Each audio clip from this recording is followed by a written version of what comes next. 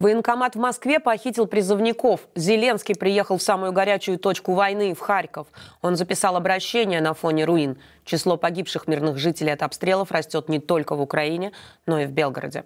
Это «Воздух. Новости» на Ходорковский Live. Меня зовут Елена Малаховская. И прямо сейчас обзор главных событий к этому часу. Число погибших в результате вчерашних обстрелов в Белгородской области возросло до четырех человек. Ранения получили 18 человек, включая двоих детей. Об этом написал глава региона Вячеслав Гладков. Повреждены многоэтажки и автомобили. А в Минобороны России отрапортовали, силы ПВО уничтожили противокорабельную ракету «Нептун» и 29 реактивных снарядов «Вампайр» над Белгородской областью. Кроме того, сбито 10 дронов в Курской области и 3 в Орловской, отчитались в ведомстве. Число жертв российского удара бомбами и ракетами по Харькову достигло 14 человек. Ранены десятки жителей. Такие обновленные данные приводит Харьковская областная прокуратура. Напомню, накануне Харьков подвергся массированной атаке. В ночь на 25 мая российские войска ударили по Слободскому району города. Частично разрушено здание местного лицея, повреждены десятки автомобилей. Обстрелы Харькова не прекращались в течение всего дня. Российская армия сбросила две авиабомбы на строительный гипермаркет «Эпицентр». Здесь нам повезло только что. Там людей сколько,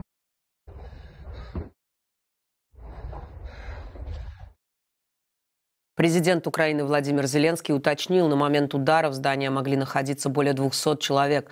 Из-за попадания начался сильный пожар. Огонь охватил более 15 тысяч квадратных метров. Об этом сообщил глава Харьковской областной администрации Олег Синегубов. В результате авиаудара по торговому центру 14 погибших і десятки раненых. Произошедшее прокомментировал глава государства. Цей удар по Харкову черговий прояв російського божевілля. Ніяк інакше це назвати просто не можна. Тільки такі божевільні, як Путін, здатні вбивати і тероризувати людей так підло.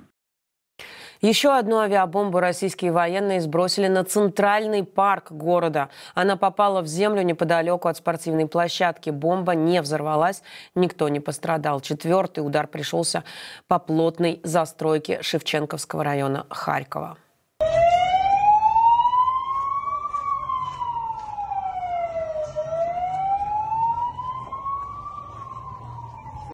Здесь не обошлось без пострадавших. 25 человек, в том числе 14-летний подросток, получили ранения.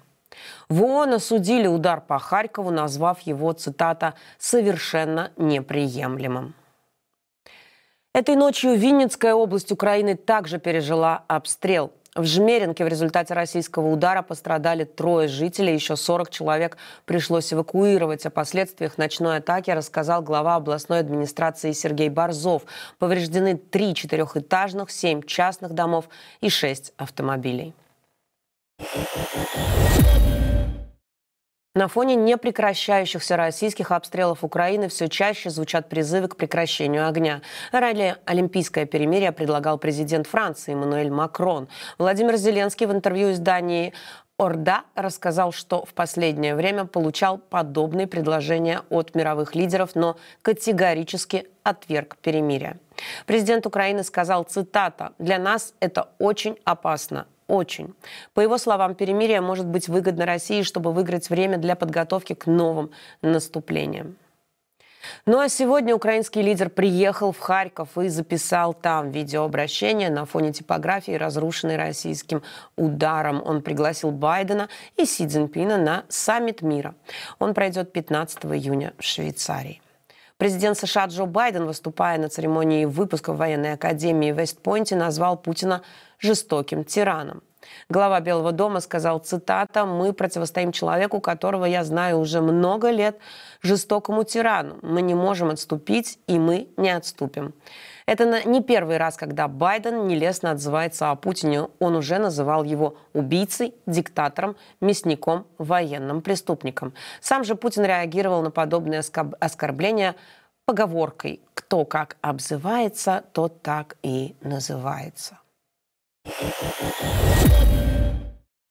В подмосковном Подольске произошел пожар на складе газовых баллонов. Это случилось в ночь на воскресенье.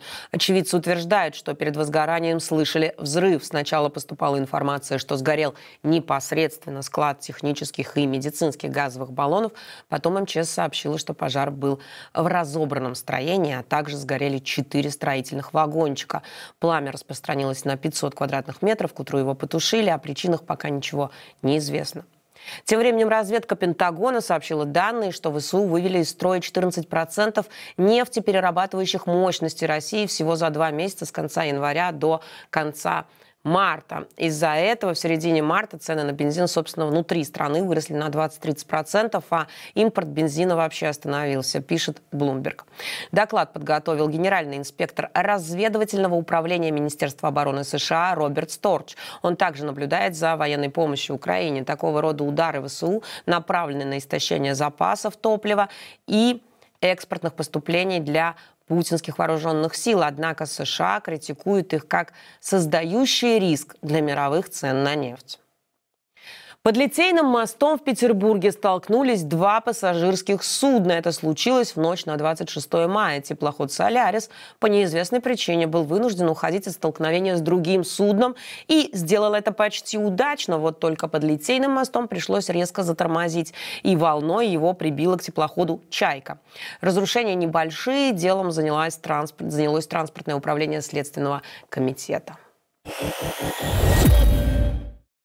В Москве на сборном пункте военкомата задержали 15 призывников. Затем их отправили в войсковые части. Родители задержанных потребовали немедленно освободить детей, вызывали скорую и написали заявление в полицию.